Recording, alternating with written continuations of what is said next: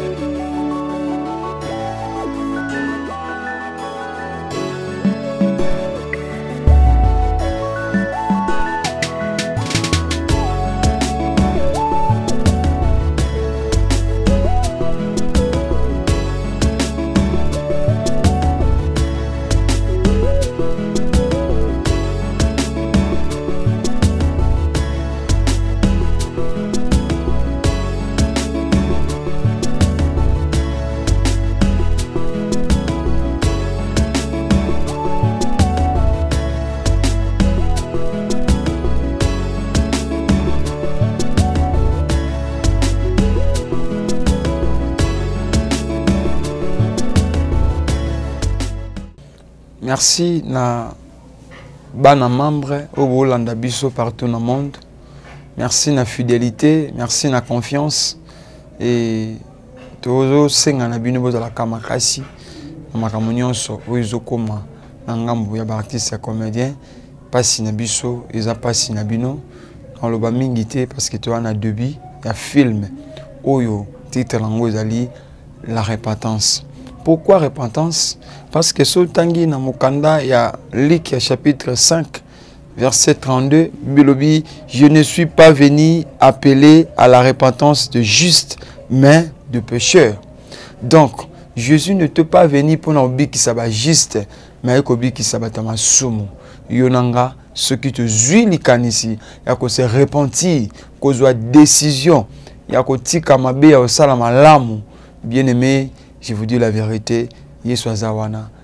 alobi nazobeta na porte ya motema nani makofongola nga nakota nazwa esika navanda tolia na elongo tomela na elongo e merci na bandeko nyonso balingaka mateya baexhortation ba, ba na biso baconseil na biso baadoration na biso topesi bino merci e soki bomona makambo wana nyonso tolobaka mpe merci na ive lubamba oyo afongola motema na ye afin ke biso na bino tozalaka tout le temps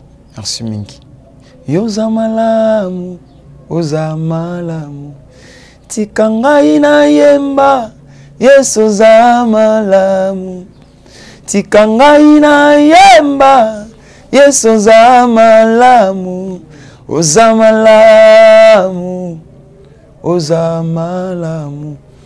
moninga malamu yesu atindi nga nayebisa bino to se repentir parce que repentance epesa biso accès ya kozala mwana nzambe bato nyonso baza bakelamu ya nzambe parce que sata asala na ye motu te me bato nyonso baa bana nzambe te soki olingi okóma mwana nzambe ya na nzela moko osengeli oleka nzela yango ezali la repentance sincère yango ezali titre ya filme na biso bolanda yango na bokebi e nzambe ya lola apambola bino merci beaucoup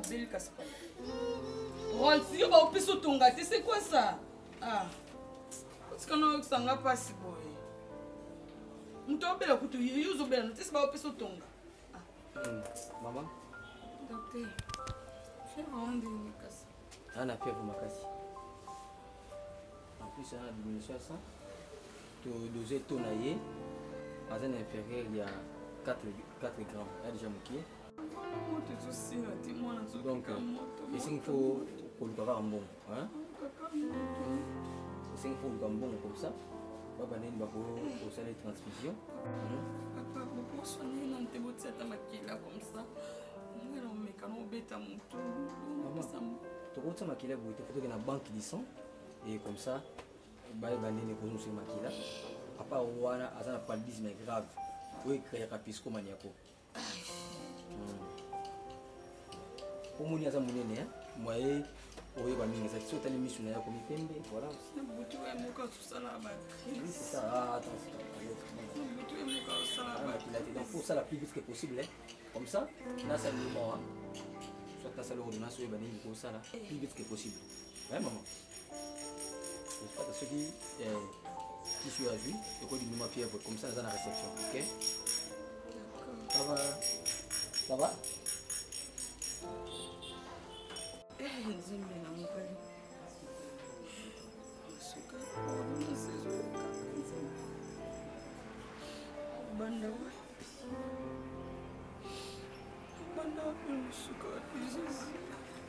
mama baordonnance yango na bisi kolanda monene na mwana nao te mpe te ntika aza nango te makile eza mokie makasi donc soki azotambola kaka bimolimo makasi wana mpoka nzambe moto alingi toza na bosenga kisi yo sikoyo bino bango bokoma na négligence trop ya bangolasi topesaki ya liboso nono mama eza mpona négligence te eza ndeke na na mbongo te mama mbongo te wana ozoloba eza problème te mwana oyo ana malibele kati na ye ana diminution 100 aana malaria aana typhoïde ya makasi ndenge aza wana mama toza na eloko mosusu tokosala te osala mwa rapidité oyela biso ya tuka eh, bakisi epe mbongo Eh, oto osomba mwa eh, oyo nyonso bakisi esombamaka lelo eza plus moins 17 sa oyo eza prix ya mbongo bokoya nango kotoke na banque dison babandeni bakoya osala transfusion mama sala mpena rapide ok hmm. kosambela nzambe asungaka mais kisi ebikisaka nzoto sala yango eza important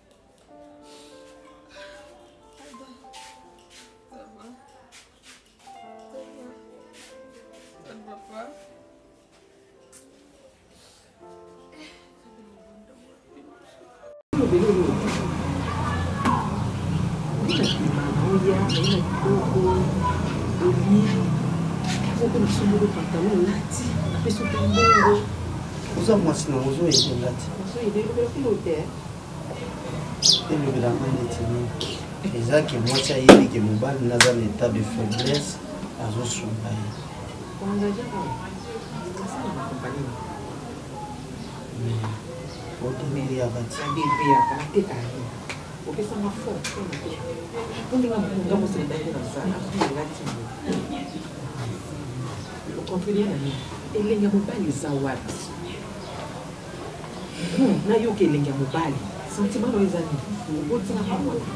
kado obotinga mwana papa ya mwana esili nofali tout ezongi na osi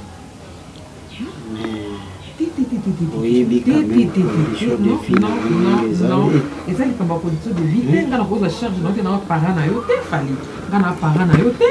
po namoni naosunga me namona komomona ngo lokola ekomi momesano habitude aza nanga roger mondeke ya famille na yo te nazala charge ya famille te nga na likonzi ya famille ya motu te yo okipaka famille nanga tonga moko oh. okipaka libota na nga te libota na nga moko fali ya nini eh, elenga mwasi ko omoni mwasi nyonso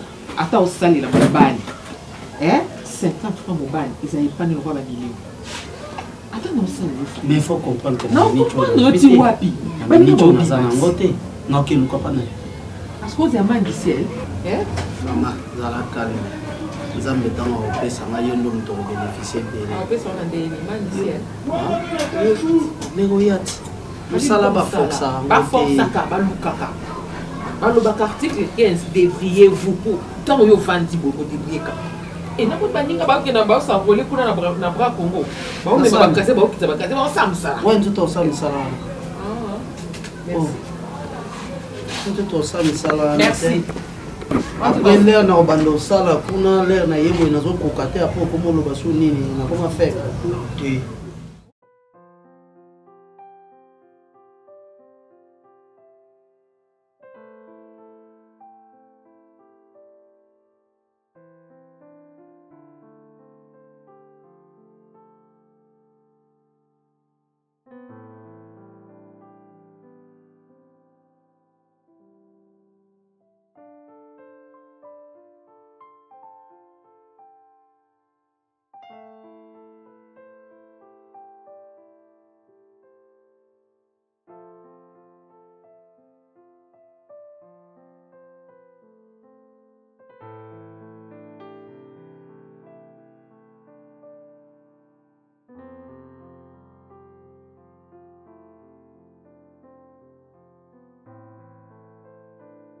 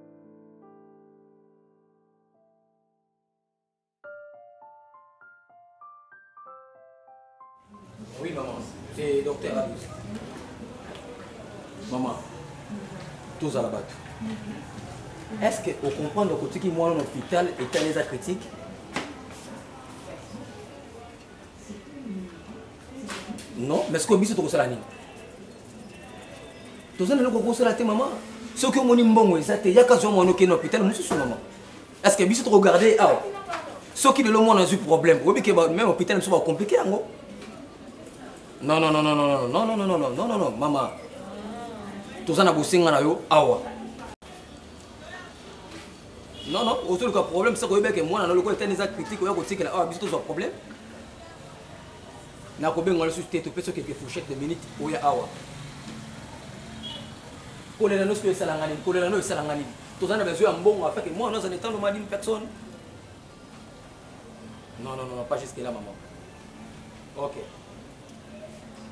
c'est bon toza na posa na yo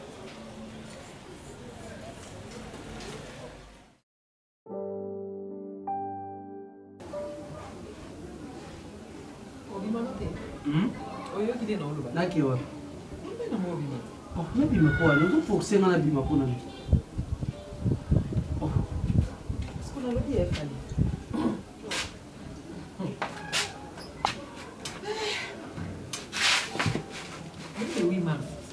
Ouais, mais puis le 8 mars. Et comment d'ailleurs monotonie banda tokotama ti lelo le 8 mars ezalaka chaque année yo moni bona nde bato balata zu nde ezali na kala mambo echange ya moseka mambo echange eza po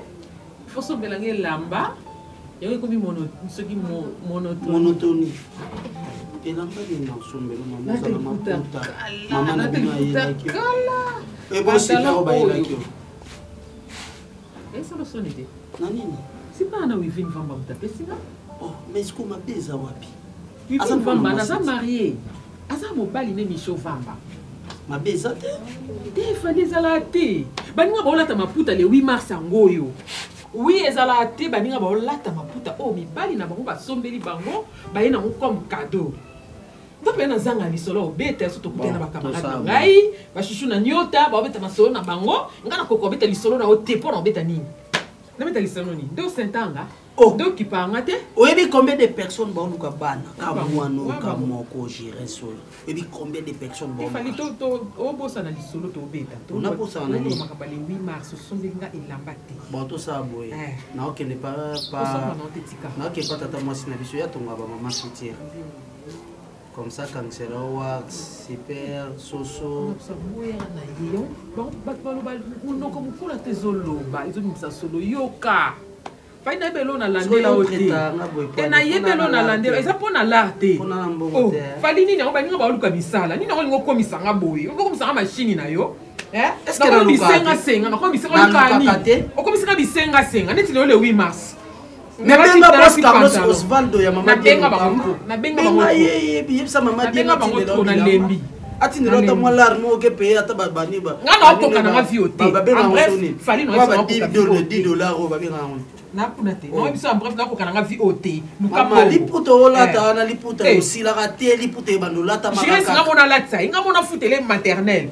finalement sikoyo ntina yango eza nini eloo nini ata la gomme la gomme osomba ya wisa eza lipapa te eh, boni kofali nalembi nanyokola kote yo nde moto onyokolaka nga na ndako yo nde ozonyokola nga na ndako ofali là je te dis vrai franchement atika ah, ngai mwa mobali basekaka te soki nakufi te neti yo basekaka yo oza nao na bomo baoseka bato naobebisa reputation naotoba ndenge eza il faut zwa courage oluka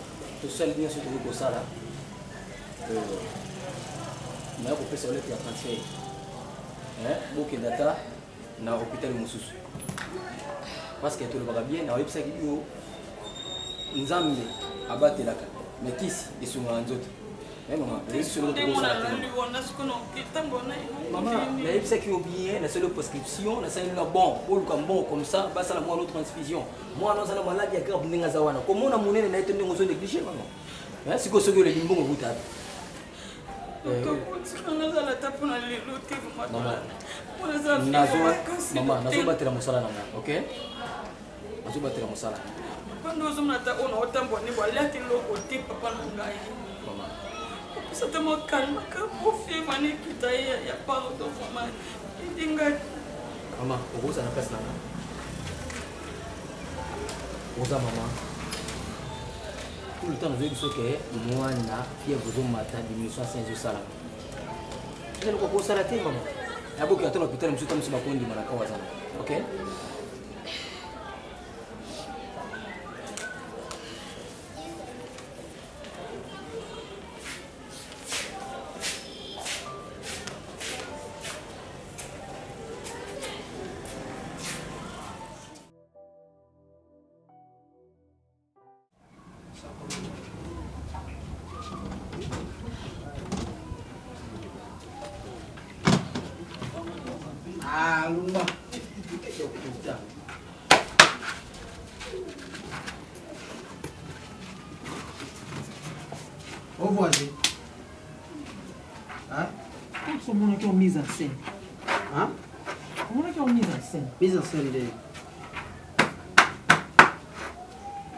na tuno ti efandi na okepa biso nakei okesani mpe abi nazongi obala nga te nga momo nayaka komikotisa alors nde nayaka nde nazonga alors naya nga moko nazonga te nga moko formation ebomona bomana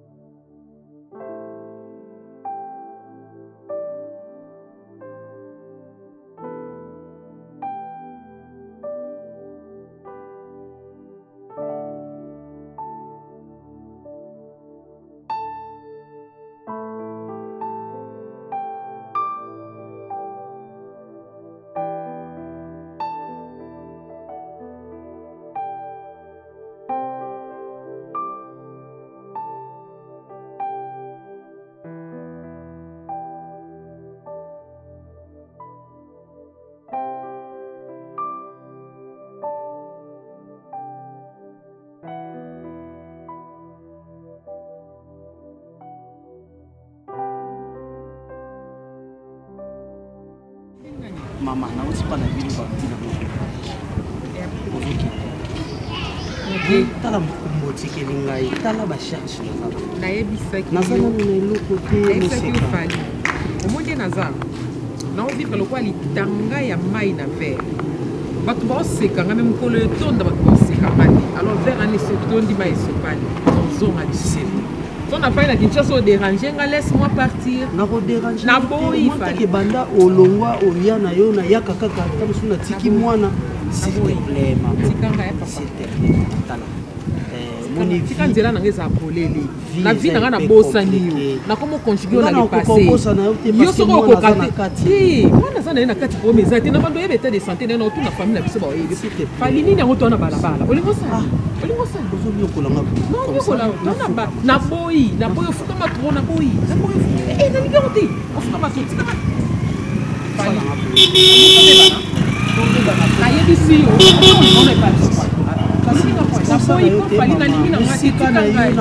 ayebi so natikeli yo mwana na yo okotisa ngai ofele na oboko lelo mwana nazwi charge na yo nayebi so fali luka obi oluka te oza na nzoto na bandeko talisa oke nazozela mosala oyo ebongaki na ngai oyo akipralima fali nakoyoka te eh, moseka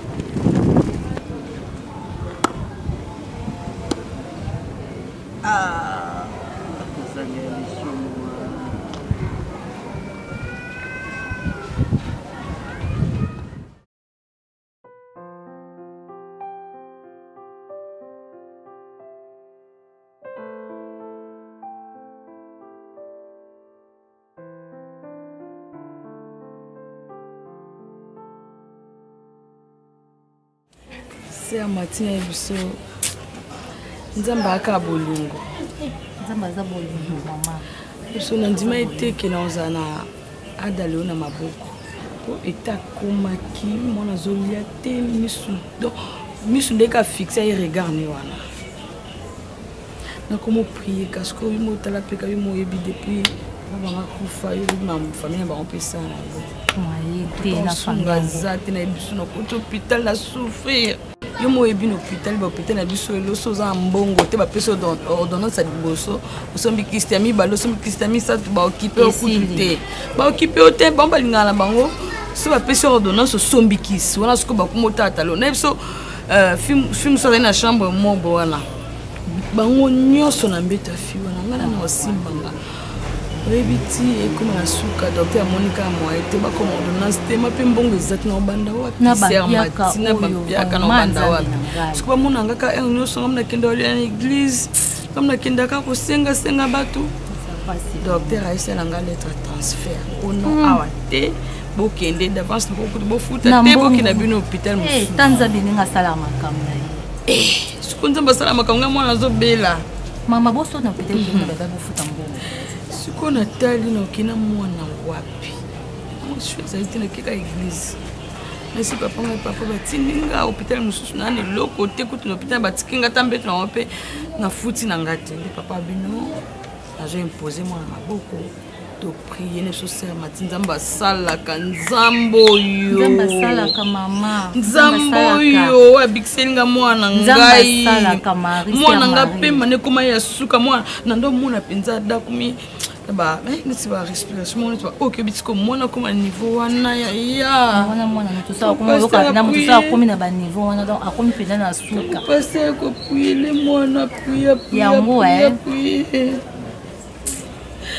omoni nzambe azongisi mwana ngai kolela te ser marie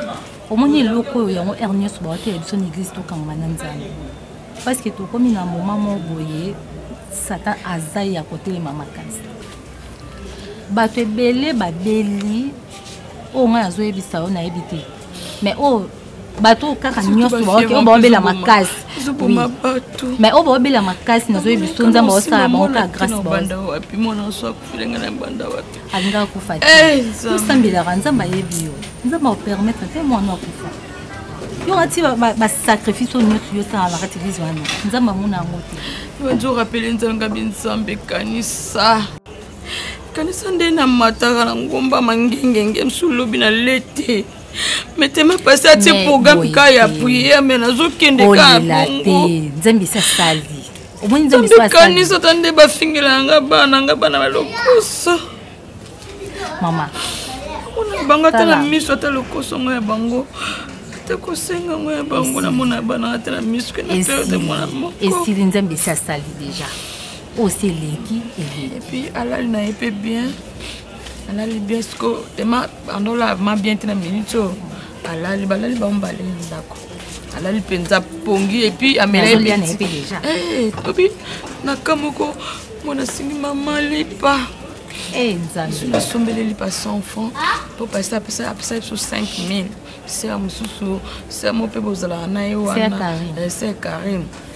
apesenga mpe 2500 nde nasombeli bao nasombeli lipa wana nasaleli potopo tomona le vraiment tomoni alali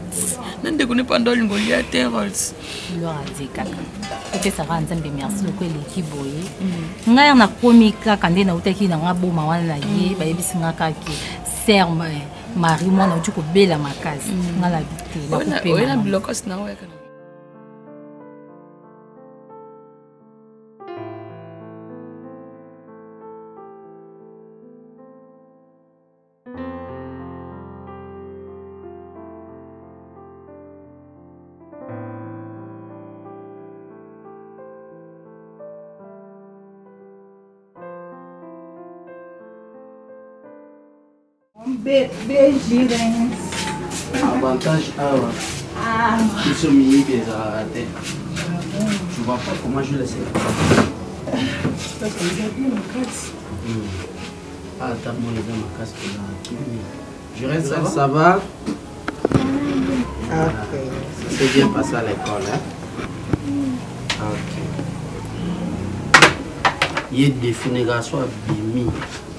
soki aye fo uniforme te chaque jour na soki na uniforme alingi kosakana trop oyo nga akola mobulu boye te yo oyebaki omona bien que na moni kati te mais ça va sepeli vraiment place yango eza bien ah, voilà euh, nalingaki omona place ezala te ke barelation moko tokutanaka ba na bakelke part donc euh, eza mingi bien te nalingi atomeka mpe kosolola moke yango moko nalingi atoki ezwa mwana ngai na yo ensemble po tosolola ngo bien mama euh, j'espère oyebi ka na ngai par rapport a makambo oyo moci koleka na ngai na change mpe vie na ngai nameka mpena kochange makambo tout banda tolingana na yo na ose sentir omoi nakomi mwa calme yango omoni nalingaki nameka mpe kosola na mwa eloko omoni mwana oyo gerese aza nyonso mpo na ngai aza ami de souffrance mwana oyo azokola na misère ya papa na ye ensemble sadi nde balobaka héritier héritier lelo soki nzambe asungi ta mosusu ye moto akobeta toloke na souffrir na papa me nalingaki ozwa mwana olokola mwana ozwa ye mpena lokola mama oyo abimisi ye na mokili epuis susi na nga mingi eza ke mwana oyo ayeba mpena ke yo mama ata tokomi bakoko ata tokomi na baage nini mwana oyo atikala koyeba te ke yo te bitobota ye c'est-à-dire linga ye mpena mola mwana oyo yo moko obimisi pesa ye affection wana a se sentir te que aza délaissé to aza na maboko ya mama na ye te nalingi mpenza ozwa ye lokola mama nyonso aboka mwana mwa susi na nga eza ya mwana nayebi ke soki napesi mwana obonima makasi Yo oza rose. Si si. Nga na ye na vie na yo mpona porte ya mpisi. Ntango mosusu mamu na ye biso nzela moko. Mais nde tobanda fana na yo ocomprendre penza que ira na mwasi na vie na nga. Mpona konéglige mwana. mpo aza ekelamu ya nzambe na miniti oyo mambo eleka yebi yango te sheri eza na kimia oyebi ke oza na bakote ebele na motema wana elonga na ekomokaosa ozala bien ozala bien makasi parce que nga naza na posa te nazwa mwasi lobi nga na yo toboyana nabanda susu koluka mwasi mosusu moni ye tozala bien epuis tosala avenir na biso ensemble amen bebe mais eske mpona mwana naomona ndeko na nkombo wana ifai tolonga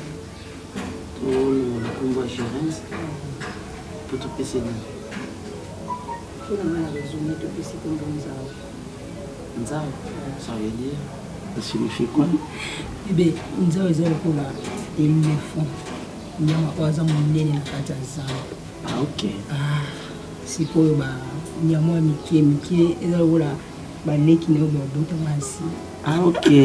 ah. okende bongo me na famille na bino moto nkombo nzao aza obakisi ebindi non omoni biso biso bakongo mingi ezala ifoza ata biso ndoi ya omoni nga lisko nde suri nde ezongi bomuti esalaki non ça va depuis hier la nuit nalalaki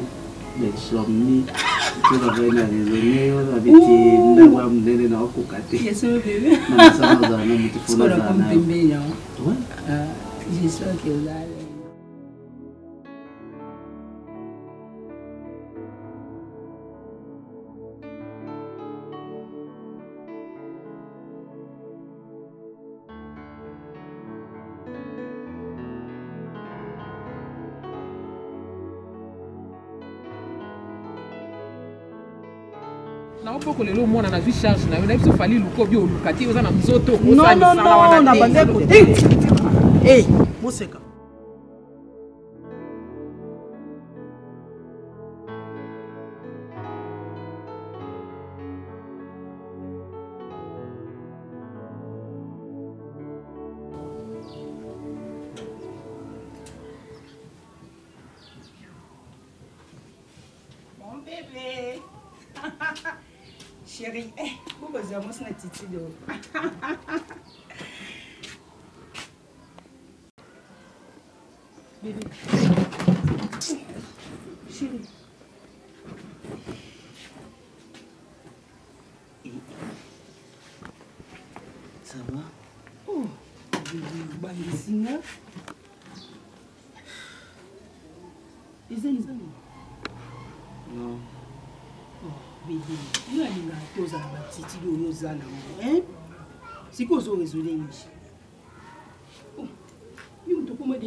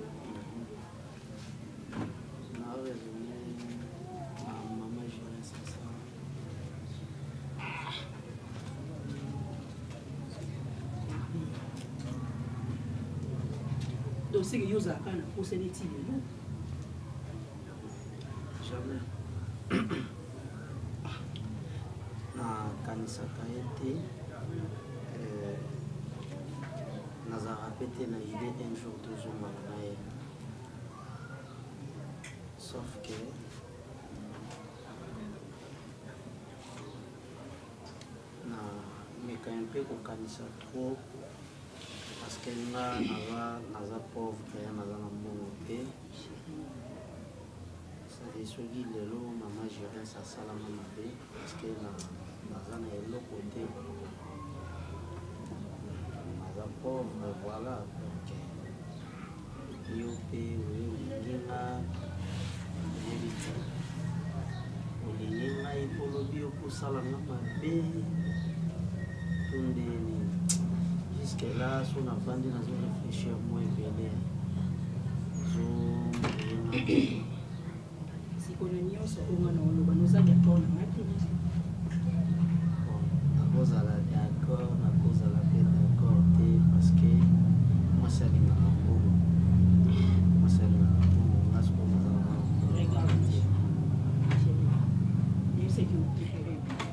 omoni nga makambo nalingi oteke mpona nalandi baintere moko songolo mpakala non mpona miniti oyo wana eloko te me me nga napesi yo motema na nga nalingi yo na bolingo ya solo naotala babia materie te non poso na bene natala yango na nga napesi yo bolingo te sheri nazoi biso oyo ezouta kati ya motema na nga donc nafanda na yo très bien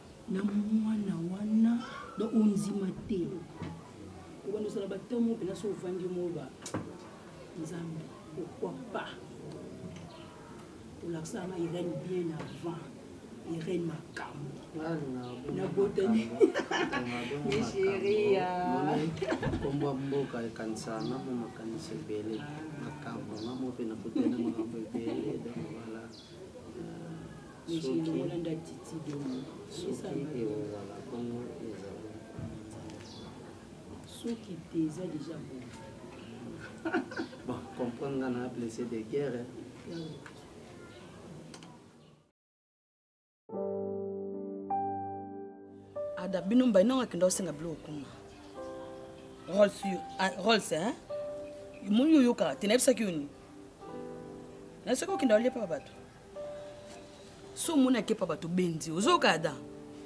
bokenda soki osenga biloko ya bato te baofinga nga bopauvreté na nga awa ah. eh, mpo likoyoka ozwika mo eloko mwa lipa ndambo opesi mwana bokomi ofingafinga nga avanda awa nakenda na nga osengasenga mpa bato te so natamboli na ngai eloko moke nazwi nale na bana na nga kame baa baa mike mwa moke akotelema bosi opeselo moke fo bando lobaloba kaka e soki natiki bino na ndako bozala na ndako bobima libanda te oyoki rols ozokanga esili bokosi na bino na ndako so na bi bobima te bobimaka mpe te nzambe akosunga bino ozoyoka eh, bokinza bokosi na bino na ndako bolali so na yini ya mikate napesaka bino te rols napesaka bino te Dada. Toka miso tosambela, pasteur abali bosambela mpo na mama te, hein? Mpo mama azwa mosala, hein? Nzau. Nzau. Toi, tu es où Pourquoi t'as laissé les babouches Hein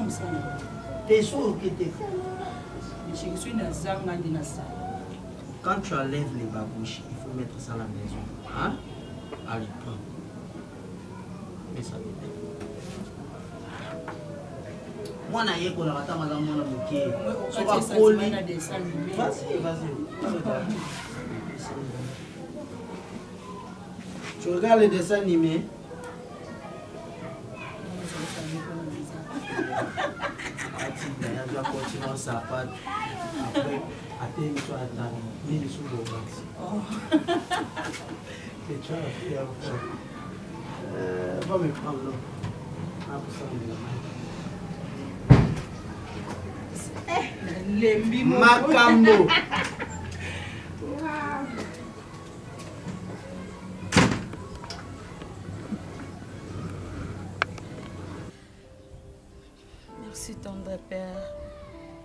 papa asi kotika bana na ngai na maboko na yo nzambe oza nzambe ya baorfele papa kota likambo na ngai jésus nzambe pambola bana na ngai bakola nzambe ndenge osalaki na eli sala mpe mpo na ada sala mpo na rolls nzambe oyo baki oza nzambe ya baveve loboko na eza wapi papa mpo na kopambola olobaki miso na eza ya kokufa te mpo na komona yawe litweno eza ya kokangama te mpo na koyoka nzambe nzambe na ngai atala bahumiliatio nyonso nkolo ngai nayebaka kake baoyo ayo bayokisama soni te yawe ata lelo nalali nzala nayebiki nakotika yo te nayebiki yo oza nzambe olesaka bandeke nzambe etalanga naza bana papa nayebiki okotika ngai te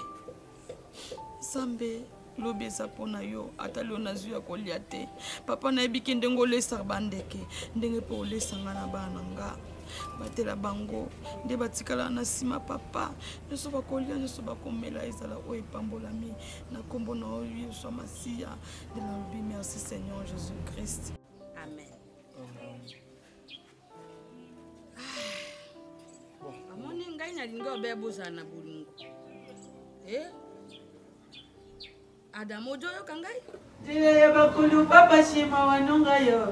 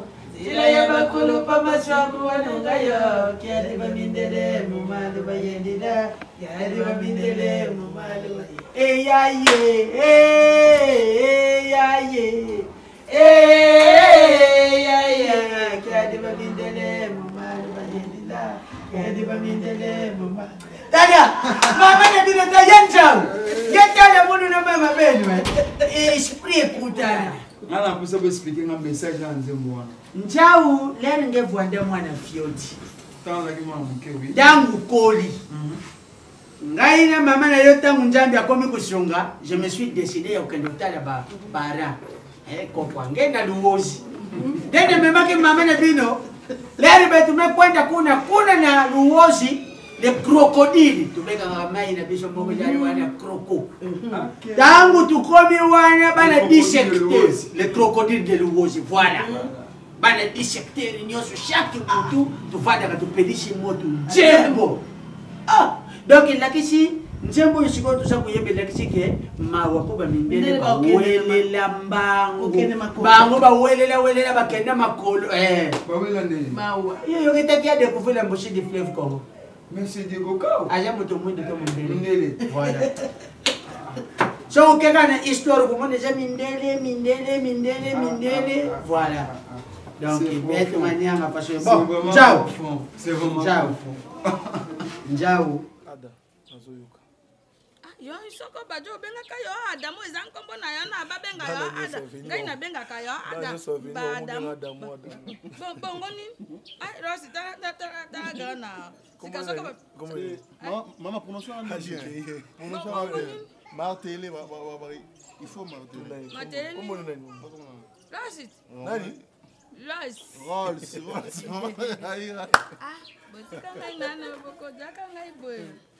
sika tokokende mabondeli tokokende lozambo te mpo na njala pasteur alobaki te tokomaka bato ya yambo mpo ajo olinga te ya bino bokoma bakolaliste soki oza mpembe na mosala ya njambe okomona te soko bapisi bolo ye padri bolo asali nini apisi bino makambo oyo banda yango uta bomoni ti lelo ojokolaka na yango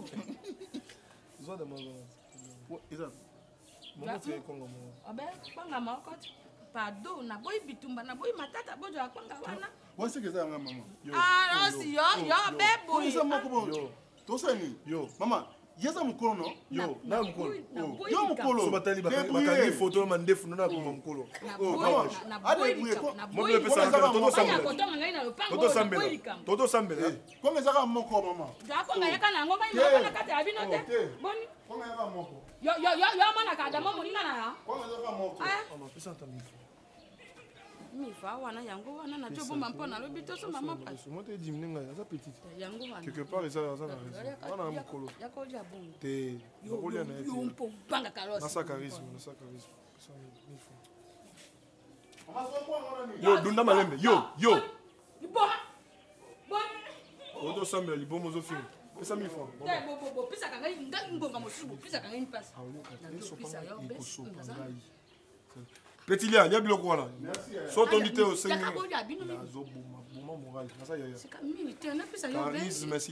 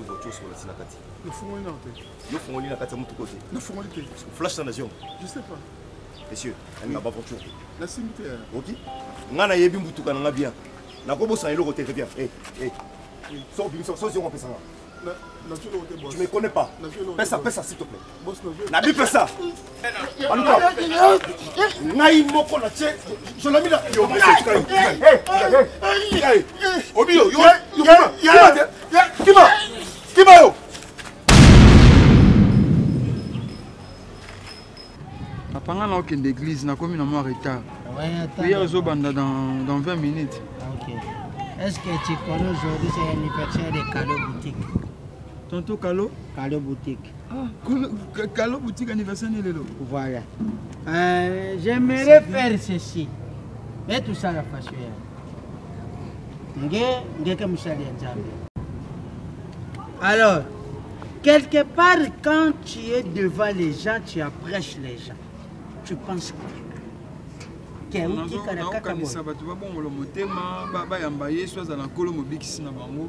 epuis voilà et pour ta vie mpo na vie na ngai naluka nakota bokonzi ya likolo c'est ça c'est que c'est pour toi c'est tout ça papa nayebi te à part au royaume des cieux bible elobi c'est premièrement le royaume et la justice de dieu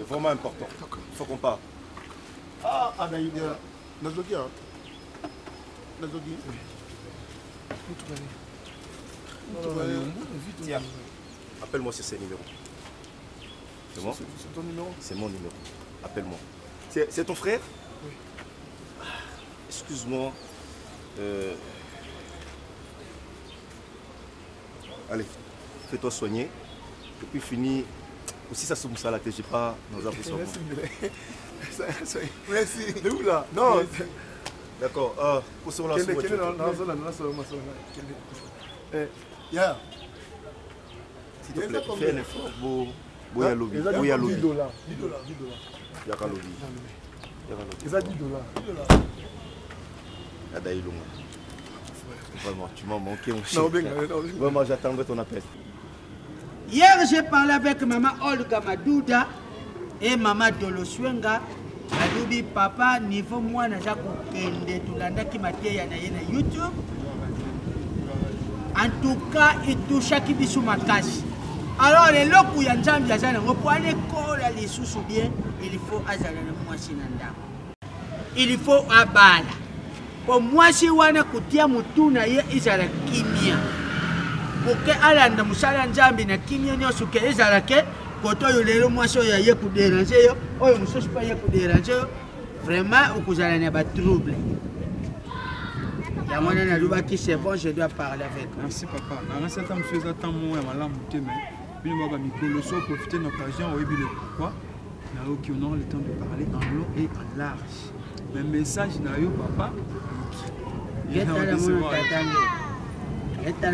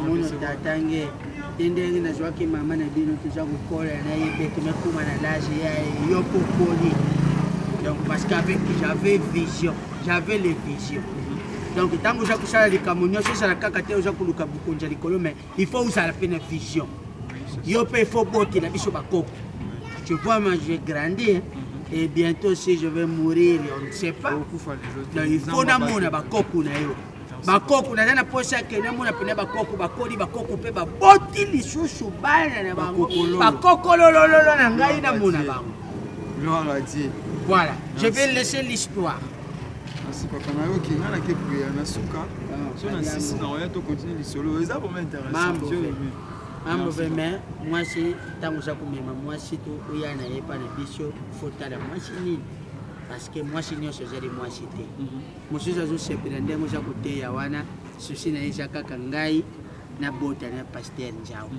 me mosusu aza mpena na susi wana ke te lelo soki nazwi mosali ya nzambe oyo nakozala na esengo makasi mpoana navanda na ye vi na nga mobimba defo so navandi nalobaka nzambe ayeba kosala shwa shwa ya kopesa ngai papa lokola papa maswako eh, eza shwa moko eza vraiment merveilleux je dis ah, gloire à Dieu kwenda nge je te le temps tant que nakokwendaka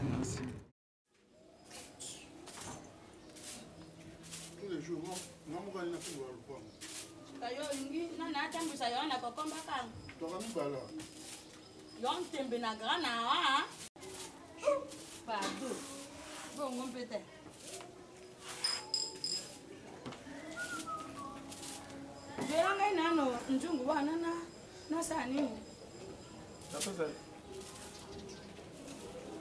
makala moto moto zungu yengo kwe. Omoni mbongo te? Mbongo? Wewe. Yango oyo. Tuna nani? Tusimba te koza mbongo. tuna nanu bato pardo botuna bato oyo naboyi moto aya kotuna awa te bamoni mbango na ngai te pardo botuna moto oyo na yotika kosimba mbonga mbongo eza wapi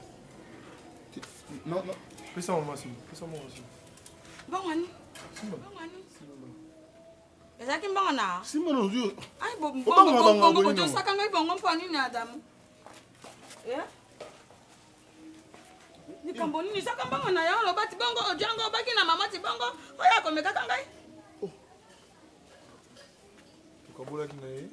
apesaki 30 dollars ah. kambo apesi 30 dollars asali 20 lokola naza yaya akomelako 50 oyo moto apesi nga mbongo te natuna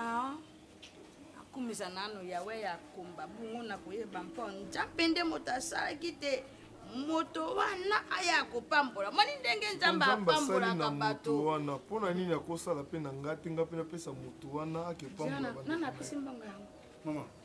mbongo oyo ezalaki mbongo na ngai sika mbongo yaka nano dila ngai naza kokende na molongo mpo oyo oza na yango yaka na yango tobomba yango ah. toyeba ndenge nini tokotia poesilaki deja esilaki deja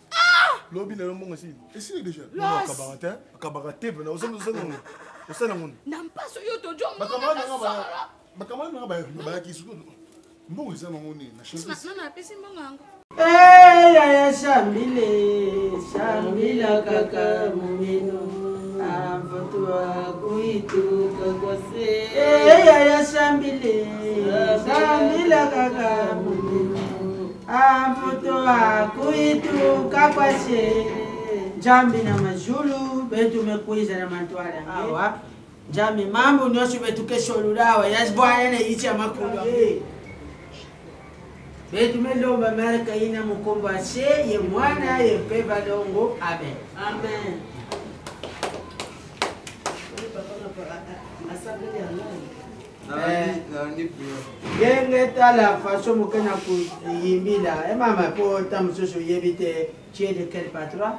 oza ekolo nini ah toi tu es moluba bon ere mosusu kokanisa ndenge naza koyembo ndenge nazosignale bango likambo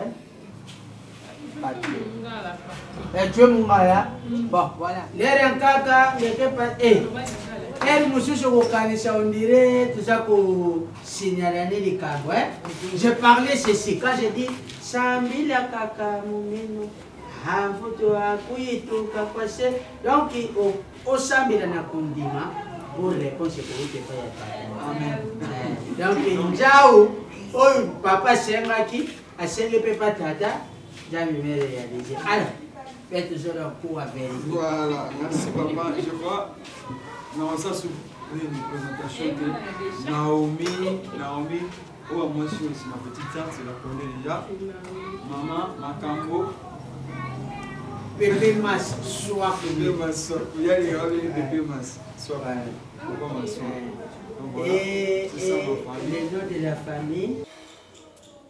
eh? yakoloba na ngai tatonayeba esika mbongo euteli mama mama ekoya kokabe joeza bongo te mama mama lobi na bimi boye namoni voiture moko boye wana na coin ekomi salite namoni mokolo nango azokita nayese papa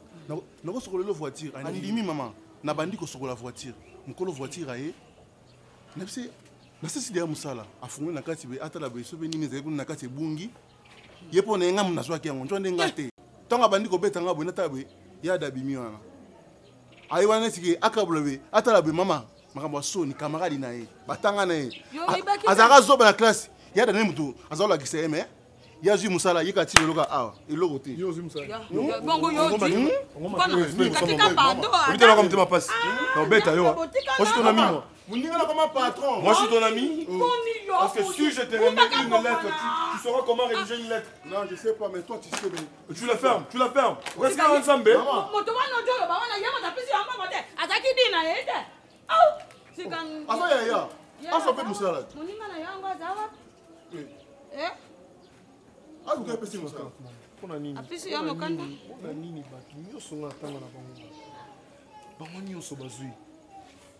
bango nyonso baza bien tosambelaka eske bango mpe basambela nakobeta ondima te kolanda monene wana te attention nabeti mpe nasuyo mini na mandefu wana okoya kojoka jonga na ano boye nzambe na ngai doma 30 dola wana omoni oniola na 100 dola na poche solo bomonisaka mpasi na bomona te bokomi batata mibima mpe ngai nakpaya sika nakufa na tasio mpo na bino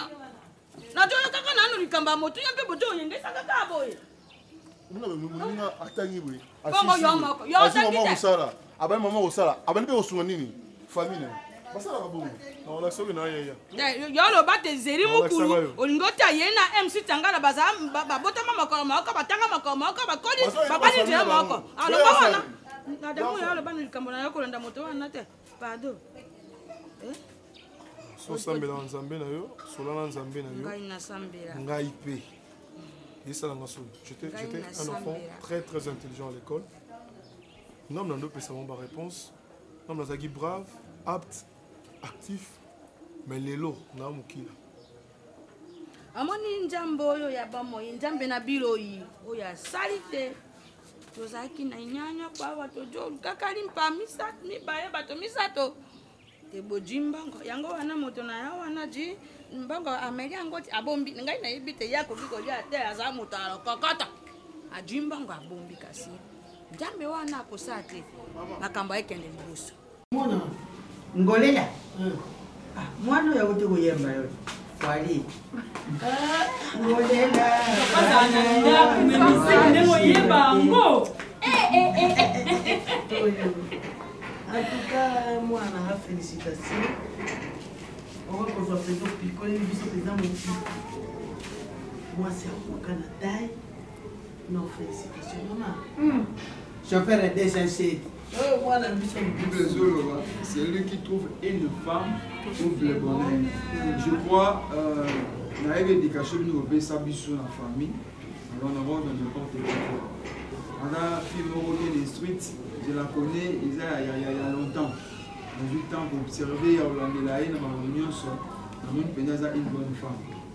donc boyebi bacaractère ya mwana bino nzau bobanga eloko moko te aza mwasi moko aza hypocrite te ah. aza mwasi malamu mama ozala lokola chauffeur ya dsnc te comprendre te chauffeur ya dsnc ata motuka eza kosala nini ye susi na ye eza kaka koma na destination me baza koyemba ngo meme na banzembo awa chaperegesese kutu nayebi bien asalaka pona komisanga na destination